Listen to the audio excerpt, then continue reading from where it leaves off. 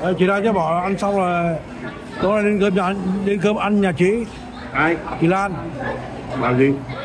Ăn cơm xong tối nay chị mời ăn cơm nhà chị. Ăn chị Lan hả? Ờ why always up there? Nhớ. Are you psycho? Oh, are you psycho or are you crazy? Mà thằng thằng thằng for real thằng quý nó bảo là ok rồi nó bảo tụi bay đi theo thằng thằng quý thôi. Thằng đỏ rồi ok còn mày thôi. Mình đi không đi.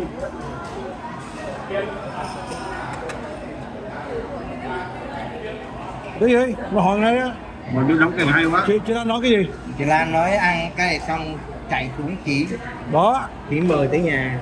Hôm nay là ngày đặc biệt. Cách birthday của anh Phước thì sao rồi kể đó mình chạy xuống nó ăn rồi mình đi về mày có lái xe mày này từ trại đóng tiền này tài từ đóng tiền này hay Lan đi không?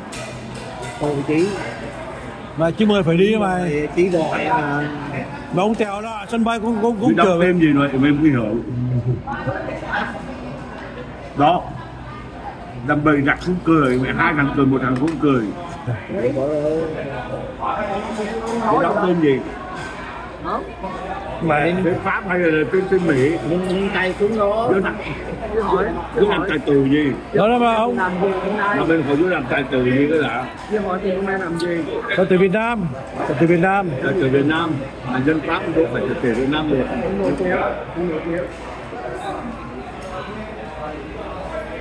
có đi không? Đi rồi mà hai thằng này đi nè tao cũng đi nè. Đi theo đi cho chị tôi mày khi đang buồn mà chị nhớ tụi bay đó chị bảo nhớ ừ. chị nhớ mất nhất nhất là thằng đầu ừ, gió. trước rồi tính sau